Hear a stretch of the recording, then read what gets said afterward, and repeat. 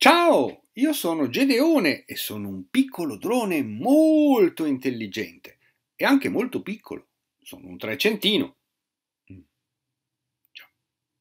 Ma che cos'è un trecentino? Per prima cosa, diciamolo subito, non sono un aeromodello. No, no, no. Proprio non lo sono. Farti ridere, ma sono un aeromobile. Sì, un aeromobile proprio come lui, come un Jumbo. Visto che non sono un aeromodello, posso fare cose che gli aeromodelli sono vietati. Per esempio, posso lavorare.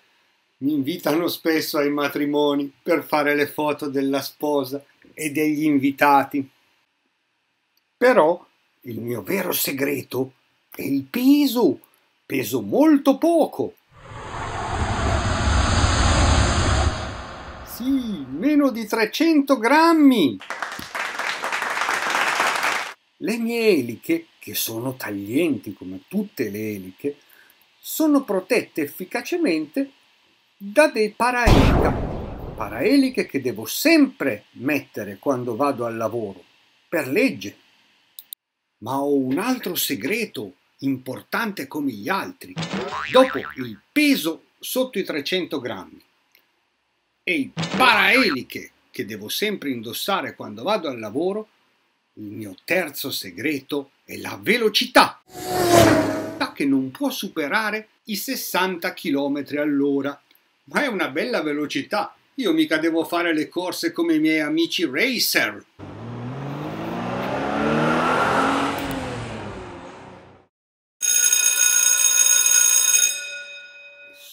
Ricapitoliamo cosa abbiamo visto finora.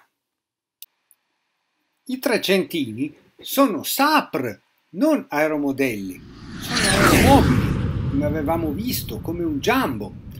E quindi possono fare, per esempio, del lavoro, mentre gli aeromodelli per legge possono volare solo per divertimento e per sport, naturalmente facendo anche delle riprese video, ma private. Ma alla fine sono le ultime tre cose, le più importanti. Pesare meno di 0,3 kg, avere i paraeliche e non superare la velocità massima di 60 km all'ora, beh, mi dà dei veri superpoteri! Il primo superpotere, che di solito è quello che a molti piace di più, è che con me non è necessario quello che viene chiamato il patentino, cioè l'attestato di pilota remoto. Però a me il superpotere che piace di più è che essendo così piccolo e leggero con i paraeliche e velocità limitata, sono considerato inoffensivo per legge e quindi non devo tenere una distanza precisa dalle persone che devo riprendere. Anzi, se necessario, posso anche volarci sopra. Ma questo sempre nel rispetto della sicurezza e sotto la responsabilità del mio pilota. Ascoltami bene però, ho detto persone, non ho detto folle. Una folla come questa non posso affrontarla nemmeno coi miei superpoteri. Anche a me è sempre vietato volare sugli assembramenti inusuali di persone, come sono per esempio gli spettatori di un concerto o di un corteo. E questo, attenzione, anche indoor. Io posso volare sulle persone perché per noi trecentini tutti gli scenari sono non critici. Ogni scenario, anche in città. E quindi, così come non si applica il concetto di buffer rispetto alle persone non si applica nemmeno rispetto alle case, alle infrastrutture sensibili, alle strade. Questo fa di me la macchina ideale per tutti i lavori aerei con drone che vanno fatti in città.